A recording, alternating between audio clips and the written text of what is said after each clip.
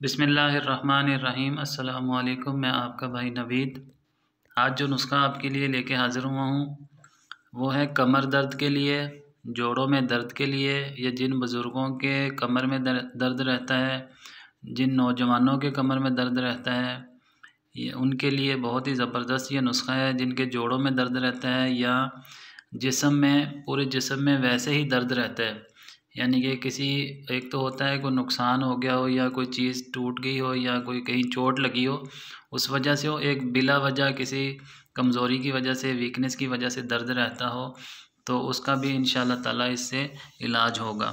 तो दर्दों के लिए बहुत ही ज़बरदस्त ये नुस्खा है। ये चीज़ें आपके सामने जो मैंने रखी हुई हैं, ये एक ही चीज़ है, हल्दी। हल्दी इसको कहते हैं, लेकिन ये हल्दी है ताज़ा। कच्ची हल्दी है जो कि बाज़ार में आजकल सीज़न चल रहा है तो उसमें आपको इजीली मंडी से मिल जाएगी। आप इसको ले आएँ कच्ची हल्दी। इसको ला के अच्छे तरीके से धोकर इसको पानी में जो है आपने एक से दो बार बॉईल कर लें। दो तीन मिनट आप सिर्फ़ बॉईल करें, फिर इसको उतार के ठंडी कर लें। तो उसके बाद आप इसको इस्तेमाल करें।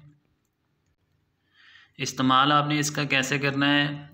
जो कमर के दर्द के हजरात हैं या जोड़ों के दर्द के हजरात हैं, उनके लिए जो है इसको आप लेके इसको जिस तरह हल्दी को छीला जा, हल्दी को सॉरी हल्दी को इस तरीके से छीलना है, जैसे अरवी को सालन के लिए छीला जाता है, इस तरीके से आपने इसको ऊपर से हल्का हल्का छिलका उतार लेना है, छुरी की मदद से उतार लें।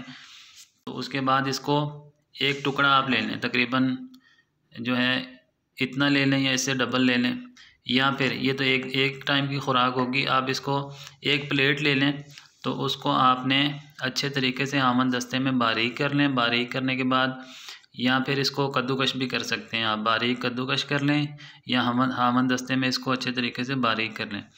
तो बारीक करने के बाद आपने इसको क्या करना है? जितनी ये होगी हल्दी, इतनी ही मकदार में आपने सूजी लेनी है।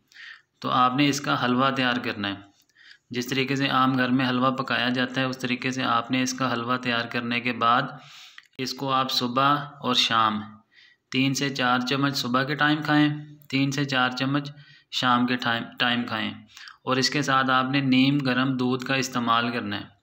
तो उससे इन ताला आपके जो कमरों, कमर की दर्द है, जोड़ों की दर्द है या आपके पट्ठों में दर्द रहता है तो उसका जो है वो इन ताला ख़ात्मा हो जाएगा। सर्दियों के लिए बहुत ही ज़बरदस्त ये नुस्खा है।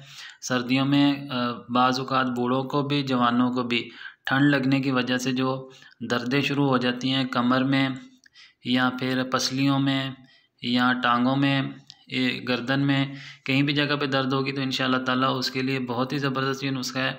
आप इसको इस्तेमाल कीजिएगा, दुआओं में याद रखिएगा। अल्लाह हाफिज़।